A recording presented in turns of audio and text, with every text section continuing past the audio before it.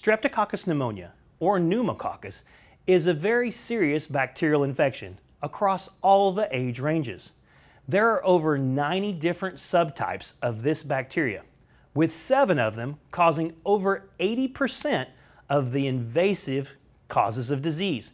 Now, this bacteria can cause several things, ranging from pneumonia, bacteremia, which is a bacteria in the blood, meningitis, which is an infection around the spinal cord and the brain, as well as ear infections and sinus infections. This bacteria can cause some severe infections that lead to some severe complications, in that this pneumonia leads to 175,000 hospitalizations each and every year, with a 5 to 7% mortality. The bacteremia leads to 50,000 hospitalizations per year, with a mortality of 20%. The meningitis, 3,000 to 6,000 hospitalizations with a 30% mortality. And there are over 5 million ear infections each and every year. Now, this bacteria is a common inhabitant of our nose and our throat. So every time that anyone's on any antibiotics, this bacteria is being exposed and given the opportunity to develop resistance.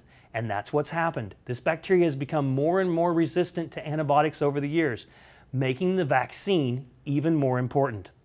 Now, this vaccine is given to children at two months, four months, six months, and the final one given between 12 and 15 months.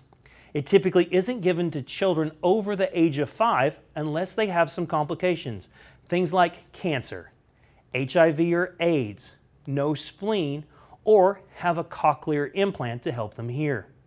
This vaccine has recently got an indication to be given one time to people over the age of 50 and then followed every year by the pneumonia vaccine. Contraindications of the vaccine are few, usually a prior history of a vaccine reaction such as an allergy or a moderate to severe illness at the time it's supposed to be given. Side effects are actually fairly common, with pain at the injection site happening about 50% of the time. We can also have some swelling, some redness, and maybe some low-grade fever, usually taken care of by some Tylenol or Motrin. But this has been a great vaccine. We've seen a huge decrease in the number of meningitises and severe pneumonias since it came out around 2000.